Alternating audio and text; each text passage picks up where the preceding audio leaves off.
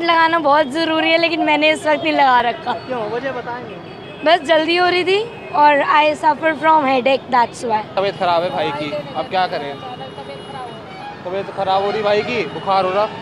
और यहाँ पे गए थे डॉक्टर के पास। सॉरी बोल सकते हैं। सर थोड़े से लिए इतनी दूर के लिए कहीं इतना थोड़ा ही हो। क्या करना क्या नहीं। एक्सीडेंट चूँकि छोटा शहर है परंपरा जो है, मुझे लगता है शायद नहीं रही है। लेकिन हमारा प्रयास तो यही है कि हम इसको जागरूक करेंगे, क्योंकि छोटे डिस्टेंसेज हैं। तो लोग बाग जो है बार बार उनके मन में ये रहता है कि छोटी सी दूरी के लिए जा रहे हैं हाईवे पर नहीं जा रहे हैं। लेकिन ये गलत है। उनको यही हमारा कहना रहता है कि ये दुर्घटना तो कभी भी कहीं भी हो सकती है।